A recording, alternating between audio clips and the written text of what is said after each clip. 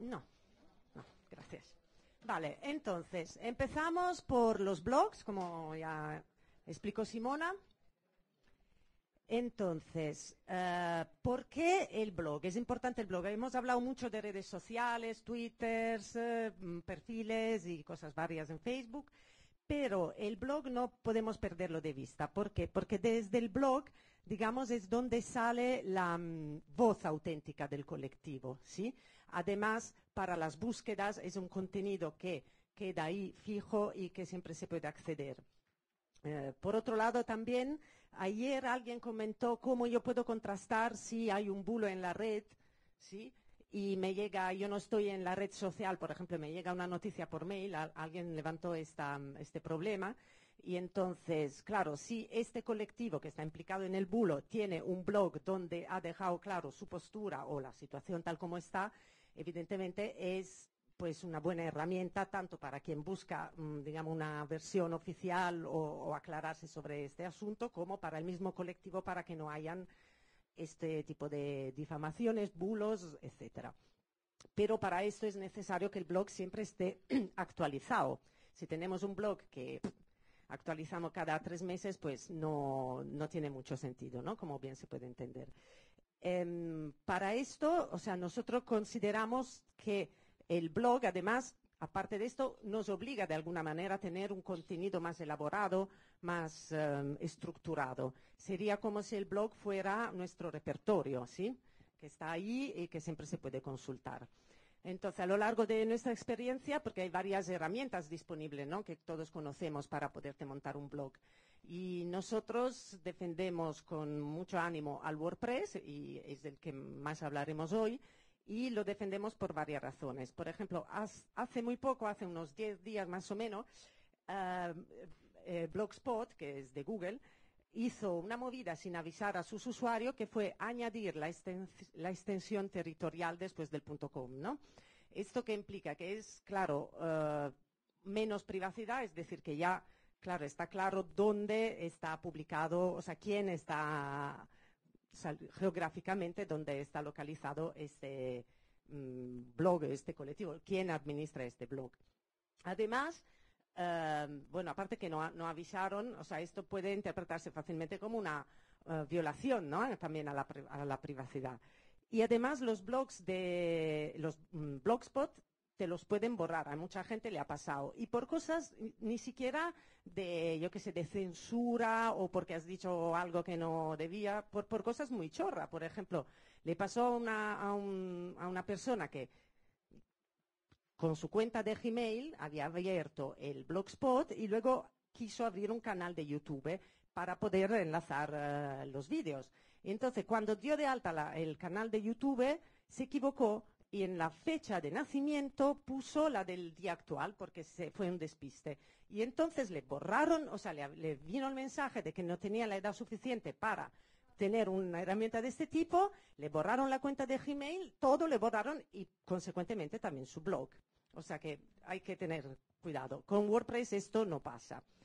Entonces, además de estas razones que creo que ya tienen mucho, bueno, hay que tener en cuenta, Em, además, el WordPress tiene una curva de aprendizaje muy alta, es decir, eh, en muy poco tiempo podemos conseguir aprender a administrar un blog y conseguir resultados más que, mm, mm, ¿cómo se dice? Muy, muy, ¿eh? muy buenos, sí, eh, y en tiempos muy breves. Y esto interesa porque estamos ocupados con otra cosa, no queremos ser especialistas en hacer blogs, por ejemplo. Entonces vamos a empezar. Eh, hablando de blogs colectivos, como ella introdujo, o sea, mm, que pueden haber varios tipos de blog, nosotros nos centraremos más en el blog colectivo hoy, hay que tener en cuenta una cosa, que eh, si mucha gente está administrando este blog, mm, tenemos que tener cuidado con qué privilegio tiene toda la gente que colabora en nuestro blog. Es decir, eh, para crearlo, lo crea el que sería el admin del blog, ¿sí? Luego, si invitamos gente a colaborar, no mola darle a todo el mundo el mismo password y el mismo usuario admin, porque el admin te lo puede borrar el blog, puede hacer cualquier cosa. Y WordPress nos proporciona un uh, mecanismo mm, para, dar de alta a colaboradores, editores, que tienen varios niveles de privilegio. Es decir, el admin es el dios en este caso. Entonces, luego viene el editor, sí, que es quien puede, bueno, lo, tengo escrito, pero es el que este viene justo enseguida y este puede eh, crear o borrar post, subir, eh, administrar eh, comentarios, subir imágenes, etcétera, etcétera. Entonces, pues valoraremos a quién invitamos con este privilegio.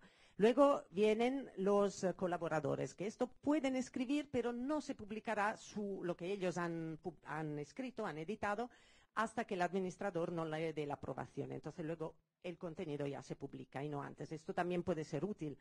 Mm, yo qué sé, podemos colaborar con traductores o alguien que pues dejamos aquí en nuestro blog el contenido que haya subido y luego lo revisamos.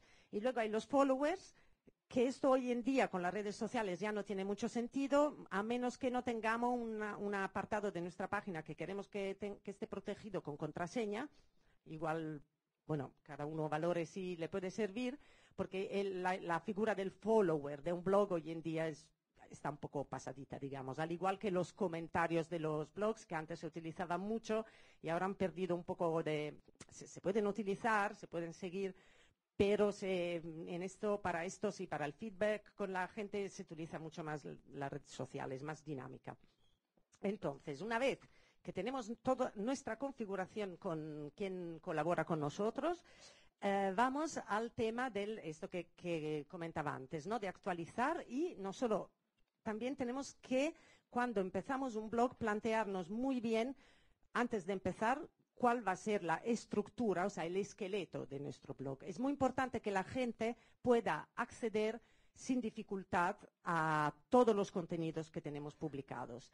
Es decir, ayer también salió el tema de que hay mucha gente que, como estamos en esta brecha, o sea, en, este, en esta era entre lo digital y lo predigital, hay mucha gente que no se maneja muy bien, ¿no? Incluso con, un blog podría ocurrir.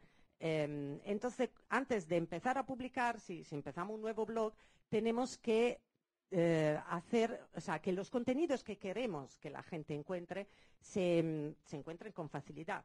Y además, tener en cuenta que esto puede cambiar. Es decir, si nosotros publicamos un blog y al cabo de dos años nuestro colectivo sigue trabajando, sigue generando contenido, muy probablemente la estructura que hemos planteado al principio se ha de revisar. No podemos apalancarnos y mantenerla, porque los contenidos se van añadiendo, etcétera, etcétera. Esto, por ejemplo, para hacer un, ejemplo muy en casa, nos pasó a nosotros, porque empezamos con, con XGAE a generar mucha documentación sobre lo que era pues nuestro trabajo con respecto a la ley de propiedad intelectual, derechos de autor, etcétera. Y claro, nosotros seguíamos investigando, seguíamos trabajando y mm, a nivel legal también mm, se, nos iba acumulando información y nos vimos un día, porque la gente además nos lo decía, que, era un caos, o sea, no se podían encontrar las cosas y tuvimos que replantear todo y reestructurar la web. En este caso, algún ejemplo, cuando hay mucho contenido, pues hemos optado por hacer submenús de manera que, mm, o sea, en herramientas, digamos, luego ahí concentramos todos los eh, mm, pues, documentos relativos, que son nuestras herramientas. Entonces, otra cosa muy útil es pensar en generar un sitemap, o sea, un mapa del web. Si nuestro web crece mucho, eh, está bien dejar una pestañita donde alguien pueda ver mm, en una sola página, no los contenidos, pero sí todos los títulos y todo lo que tenemos. Hay algunos WordPress que mm, vienen con esta funcionalidad, eh, o sea, que, que es muy fácil crear un sitemap. Aquí, bueno, no os lo he enseñado, es como añadir eh, los usuarios que comentábamos antes. Y, mm, por ejemplo, hay algunas plantillas de WordPress que tú, cuando creas nueva página, y aquí tienes la posibilidad de crear sitemap. Te genera esta página y la puedes poner luego tú donde quieras, en el menú o donde te donde veas que, que toca que entra. Y eso también ayuda mucho. Entonces, eh, una vez planteado estos asuntos, también tenemos que pensar un poco a los no poner contenidos que hagan ruido en la web, al igual que no queremos hacer ruido en la red, como comentaba Simona. En nuestra web también es necesario, o sea, que lo que entre realmente sea información útil, ¿sí? Y no, y que no sobre. Por ejemplo, yo he visto muchos calendarios en el widget que no hay ninguna fecha. ¿Por qué pones un calendario si no, si no lo utilizas, sabes? Es un ruido ahí que no, y además no, tiene ninguna utilidad. Eh, los enlaces también que pongamos hacia otro colectivo tienen que ser enlaces con, o sea, que, demuestren cuáles son, cuáles son nuestras alianzas. No podemos poner ahí todo el mundo y enlaces igual incluso de páginas que ya no existen o ya no están administradas. Entonces, o sea, la, administración de nuestro blog requiere pues un trabajo más o menos constante de siempre ir un poco a revisar, sin, sin obsesionarse, bueno, dependiendo también, si estamos en una campaña, evidentemente, pues habrá más dinamicidad. Entonces, um, además de que es importante que una vez dentro de nuestro blog se encuentre la información, es muy importante también que se encuentre en nuestro blog.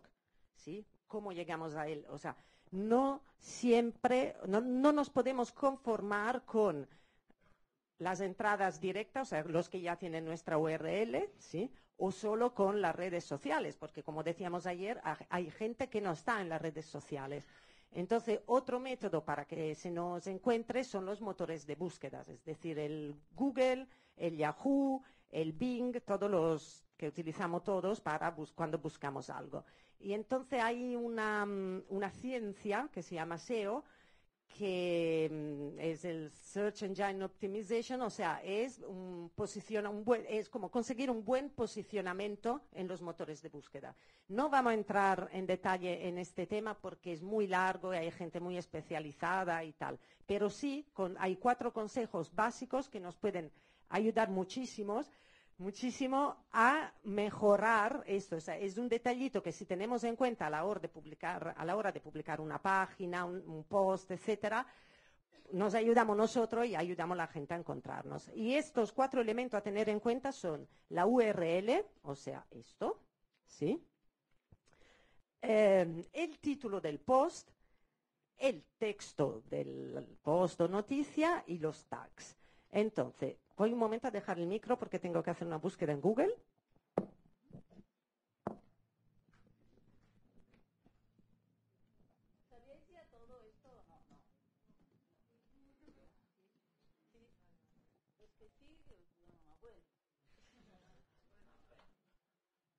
Vale, ahora no tengo internet, parece.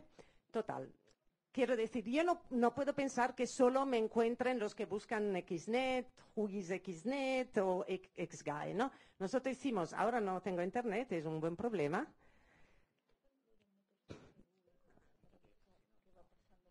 Sí. Entonces, total, que eh, aquí lo que quería enseñar que salimos los segundos en baja SGAI, que no está mal, como darse de baja de la SGAI. Y esto es porque hemos, um, hemos prestado algo de atención a estos asuntos. Entonces, el, um, uh, Google cuando entra en nuestras páginas no la lee como nosotros, lee todos unos metas que están ahí, nosotros usuarios no los vemos, pero están presentes en nuestra página. ¿sí? Entonces, hay algunos uh, mm, plugins para WordPress que nos permiten administrar estos metas de manera visual sin entrar en el código. Y mm, de todas formas, si tenemos un WordPress que no es de pago, una cosa que tenemos que, que es muy importante es, por ejemplo, una vez que hemos, eh, hemos, conseguido la coincidencia entre la URL, es decir, en el ejemplo baja de Sky, yo en la URL pondré juizxnet eh, slash baja de Sky, ¿sí? En el título lo volveré a poner, ¿sí? O puedo añadir cómo darse de baja de Sky. Y luego los tags. Cuando publicamos es muy importante que los tags sean relativos al contenido que estamos poniendo. Y muchas veces no hace falta en el tag de una página volver a repetir el nombre de nuestra web. Es decir, si yo estoy en XNet para baja de Sky, no, no vuelvo a poner como tag XNet, ¿sí? Porque no me interesa que esta página la encuentre como XNet. Entonces me haría como en esta página me interesa que la busquen como baja de. Xnet pondré igual la portada o lo que hacemos según, ¿sí? Entonces, no repetir los tags va bien. Utilizar los tags específicos de cada contenido de cada página. Ah, bueno. Justo ahora que, era cuando empezaba a enseñar ejemplos. Em, entonces, no puedo enseñar ejemplos eh, salto a las otras herramientas de trabajo y luego iremos a mirar alguna web retomando un poco este aspecto, pero no puedo hacer tampoco esto, ¿verdad? Ah, pues muy bien. Entonces, explico otras herramientas sin enseñarlas. Ah, em, ¿Queda claro esto del SEO? ¿No? Sí, sí.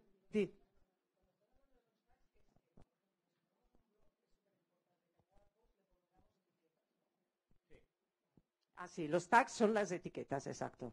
¿Sí? Que en los blogs puedes activarlas, puedes generar tú, ¿sí? Y entonces luego asignarlas a cada post individual, ¿sí? Puedes crear las que quieras, en cantidad puedes poner la que quieras, valen además eh, entre mayúscula y minúscula, es decir, si yo pongo, em, en el caso de la PA, por ejemplo, stop desahucios, con mayúsculas, es diferente que stop desahucios en minúsculas, y entonces mola poner ambas, no, no hay problema en poner más que, menos, ¿sí?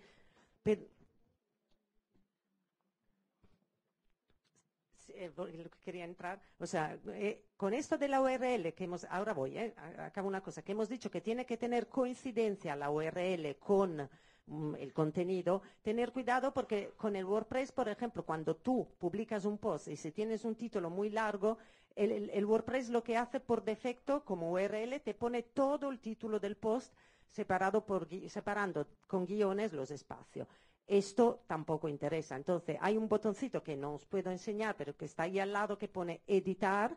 Entonces, le dais ahí y puedes entonces poner la URL que tú quieras, ¿sí? Lo guardas, actualizas el post también, si no se pierde este, esta edición que has hecho, y ya tienes una URL más amigable y además que no es solo para el SEO, sino que incluso si quieres enviar esta URL y tienes ahí un chorro de caracteres, pues es mejor una cosa más discretita.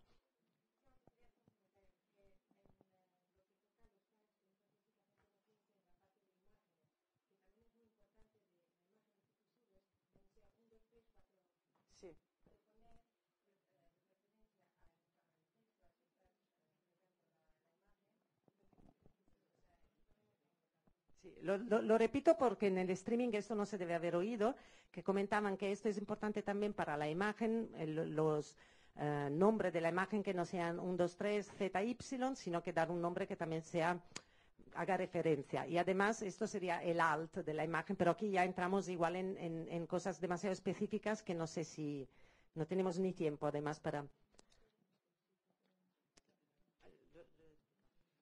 Entonces, eh, vamos a ver algunas herramientas que nos, em, que nos proporciona el WordPress, tanto el gratuito, es decir, el wordpress.com.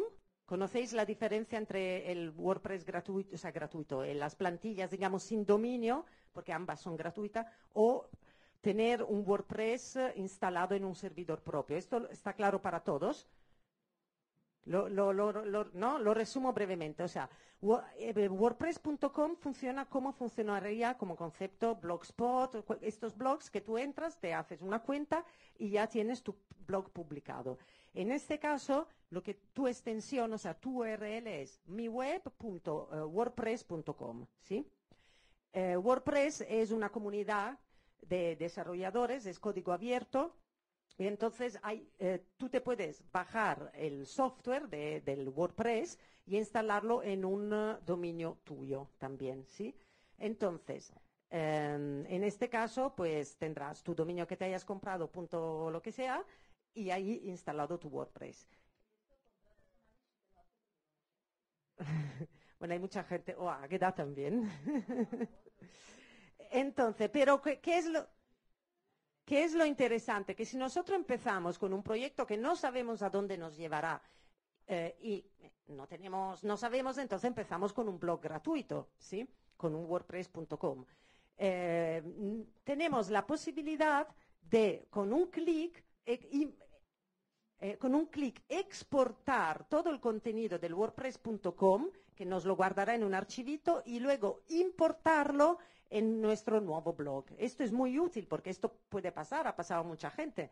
Lo, veo cada día de las webs que migran de un WordPress de estos de blog gratuito y migran porque el colectivo se ha consolidado, se ve que, que sigue adelante y tal. Entonces esto es realmente dos clics y te subes todos los posts, los contenidos, etcétera, etcétera.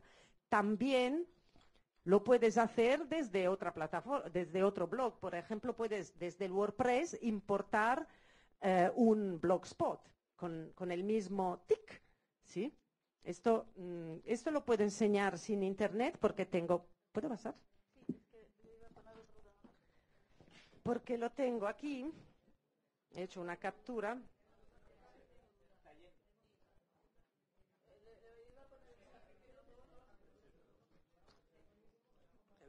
¿Veis? Aquí, esto es un, un WordPress gratuito, ¿sí? Es el panel de control de admin y en herramientas tenemos tanto importar como exportar. Y entre importar ve, vemos todas las, o sea, podemos importar hasta de otro WordPress, por ejemplo, y todas las plataformas, digamos, que están, uh, que están um, soportadas. Y luego exportar es lo mismo, si queremos este WordPress, pues llevarlo a otro lado lo podemos hacer. Yo creo que acabo un momento sin internet, ya que estoy aquí. Entonces, luego, volviendo, yendo un poco al tema redes sociales, también podemos sincronizar nuestro WordPress con las redes sociales que queramos, que esto está aquí, lo veis, en compartir ajustes, y Uh, estas son las que vienen por defecto, pero se pueden añadir otras, ¿sí? Fácilmente, es todo muy intuitivo, si os ponéis, pim pam, y se pueden añadir las que queramos. Luego, si estamos en alguna campaña concreta, en alguna acción y nos queremos coordinar con, uh, con quien lleva la red social, podemos uh, utilizar la función de programar las publicaciones, es decir, yo puedo editar un post y dejarlo preparadito y decirle al WordPress, publícamelo tal día a tal hora y no falla, ¿sí? Además, esto es un buen truco, se puede utilizar también para el pasado, es decir, si tenemos un, um, un post que hemos publicado y queremos hacer ver que lo hemos publicado antes, pues le podemos también eh, manipular la fecha hacia atrás. Lo que sí, si ponemos en el futuro, no lo publicará hasta, el, uh, hasta que llegue este futuro concreto, ¿sí? Luego hay otras herramientas muy prácticas que son la posibilidad de de publicar un post vía email. ¿sí? Podemos enviar un email a una dirección de correo concreta que tenemos que configurar. Es diferente si tenemos un WordPress de pago o un WordPress eh, instalado, pero en ajuste, escritura, en este caso he hecho captura de pantalla de nuestra web, tenemos que poner el, configurar el gestor de mail que tengamos y ahí enviamos un mail que se publica, además acepta al, mm, bastante etiquetas HTML, quiero decir, una negrita, una cursiva, estas cosas. Podemos establecer en qué categoría queremos que um, se publique, o sea, está bien, o sea, realmente, evidentemente no haremos vía mail gran cosa, pero se pueden eh, añadir imágenes, todo, casi como editar, y esto va muy bien hoy en día con los móviles poder, poder hacer esto. Eh, bueno, de momento ya está. ¿Qué, qué, me vais a hacer? Poner. Ah.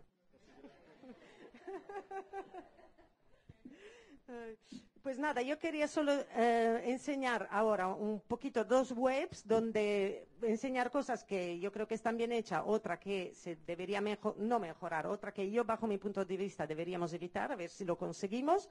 Y entonces luego por mí está... Sí.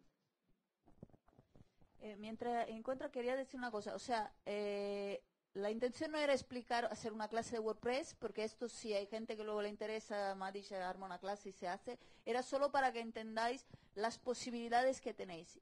Esto primera cosa que quiero recalcar. La segunda es el tema del SEO, de cómo Google encuentra el, el post de tu grupo. Yo quiero volver a repetir esto por, para que yo entenderlo bien, ¿eh? no para vosotros. O sea, eh, el Google, esto me lo ha explicado Madish, tiene un motorcito que de vez en cuando pasa eh, y entonces, la cuestión no es, por ejemplo, si tú quieres que encuentren XNet, no siempre, o sea, no te tienes que fijar en el hecho de que se encuentre por XNet.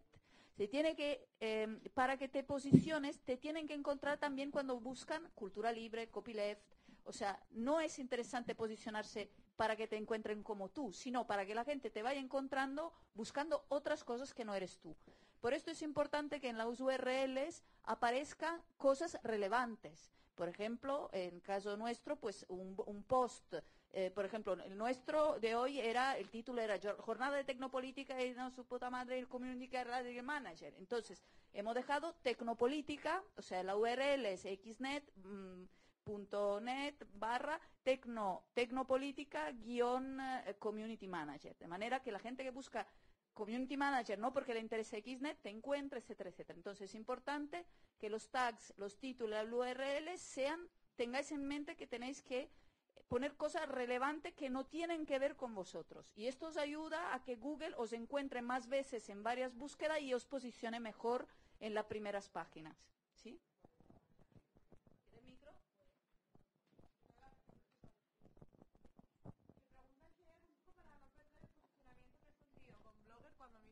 cuando migras a, WordPress.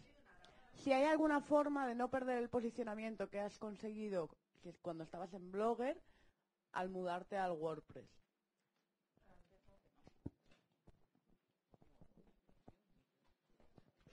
O sea, cuando, eh, si estamos de alguna manera obligados o decidimos cambiar eh, el dominio, lo que se aconseja es mantener durante una época lo más largo posible ambos. Es decir, si, venimos, si tenemos Blogspot, no lo vamos a borrar. Y ahí diremos, cuando, que si, si tiene un buen posicionamiento, quien entra ahí diremos, pues eh, nos hemos migrado a tal sitio. ¿Para qué? Porque eh, también cuentan mucho las visitas en el posicionamiento. Una web que no la mira nadie, por muy bien, muy buen SEO que tenga, pues difícilmente llegará en primera página, ¿sí? Entonces tenemos que eh, conseguir enlaces entrantes, visitas y todo esto. Nosotros todavía tenemos, estamos en un, hemos cambiado dominio tres veces en, dos años, o sea que no está mal y, seguimos saliendo bien. Ahora, he hecho el ejemplo de Baja de SGAE, que mm, este además no es mi ordenador, con lo cual, porque sabéis que Google engaña, tenéis que tener cuidado, o sea, te, hace eh, eh, los resultados de las búsquedas, de alguna manera te los personaliza, ¿sí? Entonces, yo aquí he buscado con el ordenador de la ley darse de baja de SGAE y salimos los dos primero, no el uno. O sea, he sacado este ejemplo, mm, podemos tener varios, ¿sí? Entonces, tanto si cambias de plataforma como si cambias de dominio, eh, lo mejor, si cambias de dominio, lo que puedes hacer es que el antiguo no lo borres y lo redireccionas al actual. Blogspot no puedes hacer esto, no puedes decir a Blogspot, a la URL, que vaya al WordPress. Entonces, lo que haremos es mantener lo, más posible hasta que veamos que la otra también ha llegado a, que se encuentra. Entonces, ya si queremos nos deshacemos o simplemente, igualmente, en el blogspot diremos, reenviaremos los, nuestros visitantes a, la página que queremos que vean.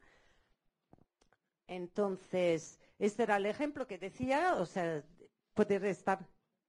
Sí, vale, sí, seré muy breve. Em, quería un poco, esto es otra cosa muy interesante cuando una web, como en el, eh, saco un poco el afectado para la hipoteca, tiene, además de su entrada aquí con el título, tiene todo esto, o sea, son secciones de la misma web, quiere decir que Google tiene una buena indexación de esta página, que los contenidos se pueden acceder directamente desde aquí y esto también es, es bueno.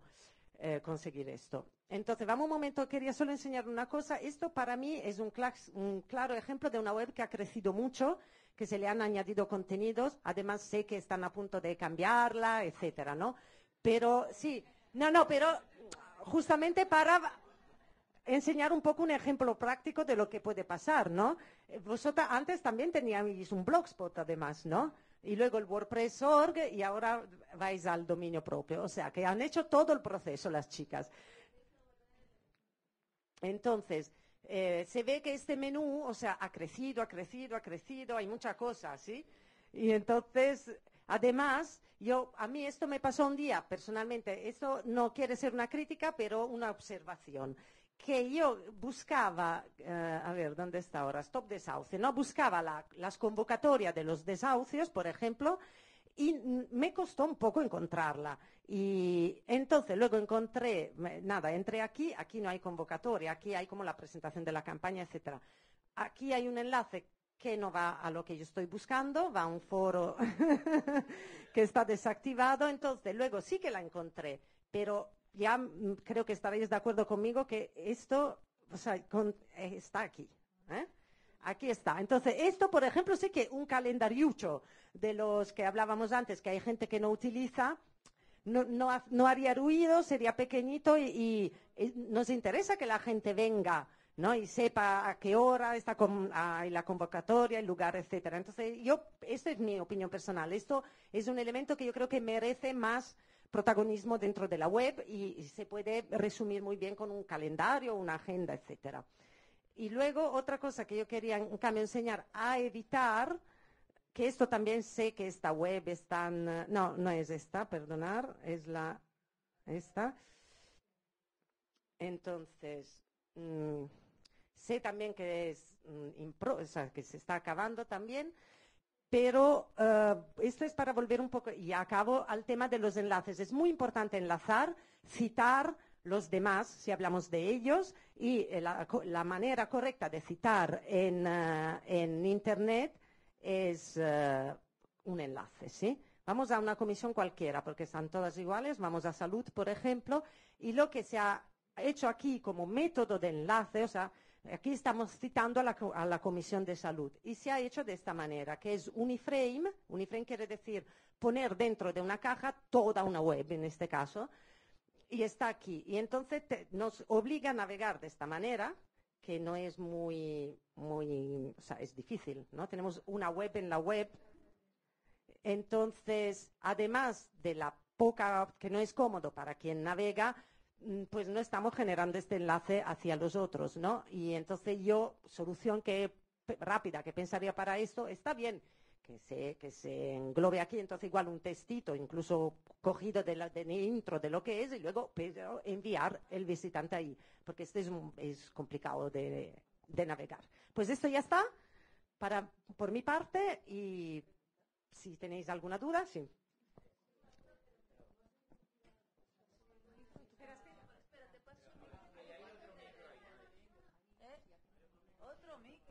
Yo tengo aquí, él va a contestar ahora. Qué impresión. Hola. No, que, yo, yo tengo una duda, pero no es eh, tanto de, de identidades en la red como de temas, por ejemplo, ¿no? O sea, hace poco, con el tema de la píldora del día, bueno, yo sigo con temas que a mí me interesan porque he venido a eso.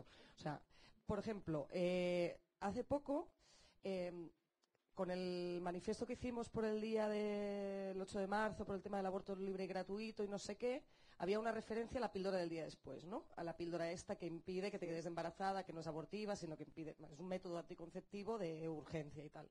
Entonces, buscando en internet, me di cuenta, y ahora lo tengo aquí abierta la búsqueda, de que la mayoría de entradas que hay son de grupos antielección, son de grupos contra, ¿no? contra los derechos sexuales y reproductivos y esta gente, por ejemplo, está muy bien posicionada a nivel de Internet. Entonces, lo primero que encuentras es una página web píldora del día después. Busca. Y entonces la primera, la primera página que aparece es de ACI Prensa, que es una agencia católica de información que son súper chungos. Eh, luego está el de ella, que, que está bien más o menos, pero luego Libertad Digital, no os digo más. Mm, Eso. Sí, no, es, es-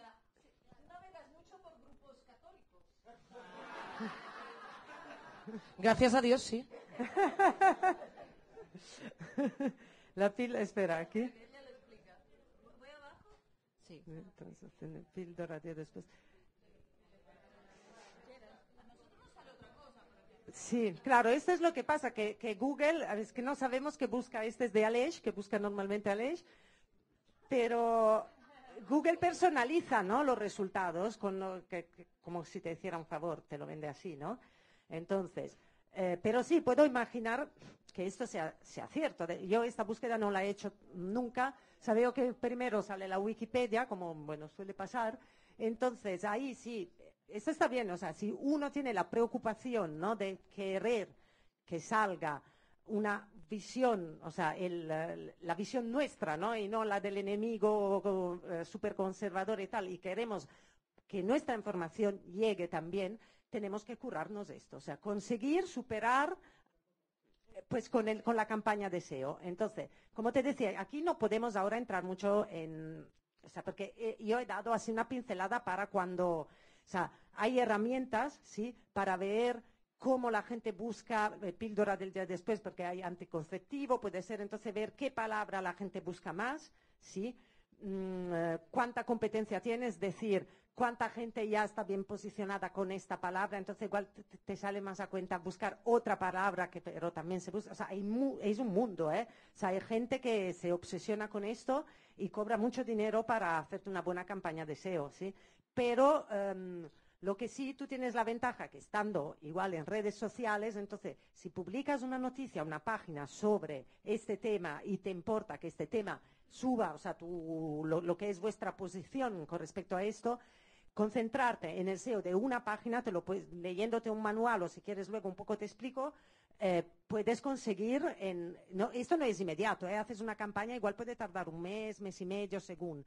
¿eh? Pero si tú consigues que mucha gente entre en tu página y consigues enlaces hacia esta página, es muy bueno para el posicionamiento también. Sí, sí, claro, hay que curarse el SEO con los elementos que he dicho antes. La página a la general, dices. Sí. Eh, sí, mm, yo tenía algunas preguntas sobre WordPress.com. Eh, como premisa, que estoy en contra de los monopolios y por supuesto del monopolio de Google. Y bueno, soy una novada en Blogger y en WordPress.com, pero por ejemplo hay algunas cosas como esto de la curva de aprendizaje o de la intuitividad de WordPress.com o de las posibilidades que te da ya de entrada la plataforma Blogger versus WordPress.com que a mí no me quedan tan claras. Por ejemplo, el tema que no se pueden upload plugins en WordPress.com a mí me resulta una limitación. Y otro tema, por ejemplo, que en WordPress.com, en, en la letra pequeña, te dicen que de vez en cuando, quizá, y te lo dicen de manera muy cool, te pueden poner publicidad en tu blog. Y entonces, claro, mm, seguro que yo, siendo una novata, Am, hay muchas de las potencialidades de la plataforma WordPress que no consigo ver en esta em, etapa, pero claro, me pregunto por qué es tan popular WordPress.com versus Blogger a ese nivel y, y por qué no, mm, no sé, me gustaría tener más informaciones para saber hasta qué punto a mí, con las nociones que tengo en este momento, me puede ir mejor quizá Blogger y luego dejarlo para más allá eh, migrar a WordPress.com.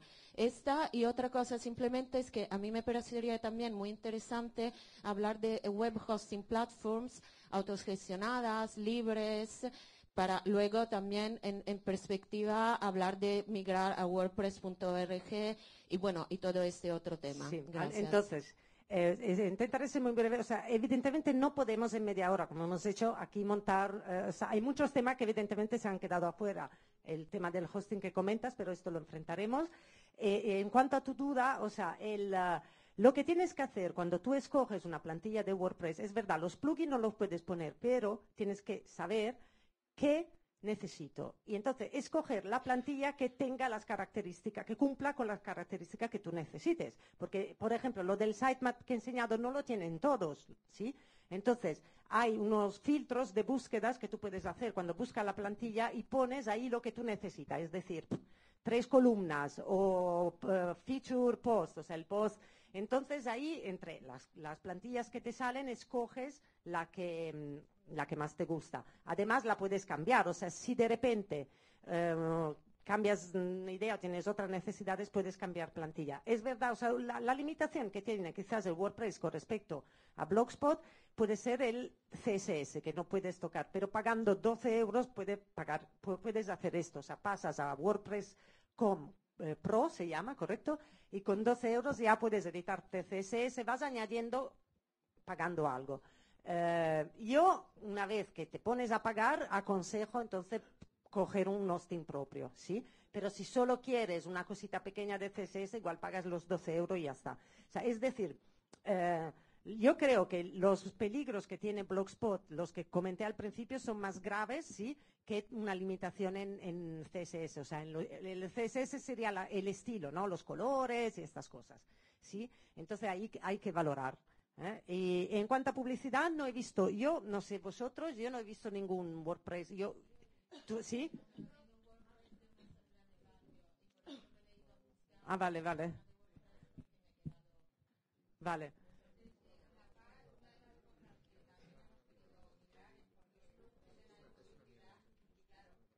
Cuando tienes, claro, cuando tienes visitas, esto es lo que pasa en todas la- las cosas gratuitas.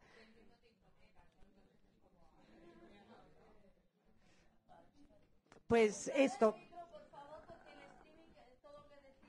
Ah, Eh, yo, yo tenía una pregunta práctica y una más filosófica. La práctica es si, si a través de, de WordPress, nosotros por ejemplo lo, lo intentamos con WordPress, ¿no?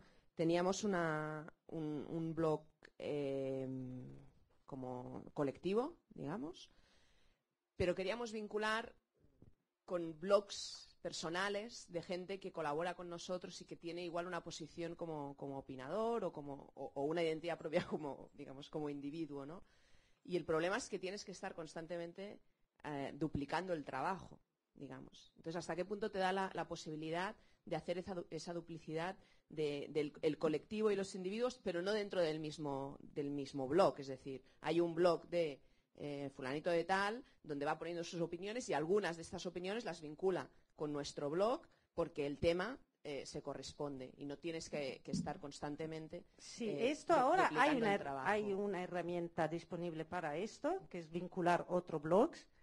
Eh, lo- no, o sea que No, sí, sí, Entre mi- saber cómo, cómo hacerlo, pero si es, si es, si Sí, es entre el dashboard vas a mis blogs, sí, y ahí hay varios, porque tú puedes, o sea, hay varias herramientas disponibles que son, en, mm, por ejemplo, la de publicar por mail, etcétera, y entonces hay t- eh, varios blogs y hay uno, luego si quieres lo miramos, hay una opción de, de, de sincronizar, digamos, y vincular eh, blogs diferentes. Y el, y el problema un poco que nos encontramos, yo creo que también, como la compañera, es que el, las funcionalidades de, de cada una de las plantillas son muy diferentes. Es decir, las posibilidades que puedes hacer con cada una de las plantillas, si nosotros estamos trabajando con servidor propio, eh, hemos tenido que cambiar de plantilla cinco veces.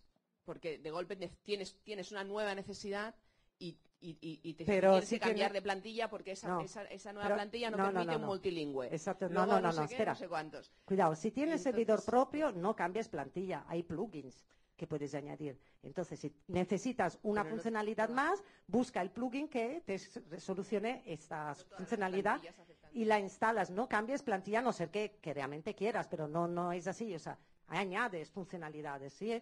El WordPress, si, si lo tienes en, en servidor propio, puedes meterle lo que sea. O sea, la, la conclusión a la que hemos llegado es que la complejidad de ir añadiendo plugins y, y- y- y adaptándolos a nuestras necesidades era igual a la de hacer un, un- un portal, digamos, con un Drupal o con un, o con, o con un Mm. gestor de contenidos. O sea, nos hemos lle- llegado a, a plantear el cambiar porque... Pues si mm, me dicen que, que, que, que se acaba el tiempo, eh, luego si quieres lo hablamos. Eh, no estoy de acuerdo con esto, pero habría evidentemente que ver el caso en concreto, ¿sí? Si quieres luego en con el café l- me, me explicas el caso concreto y tengo que cerrar la sesión.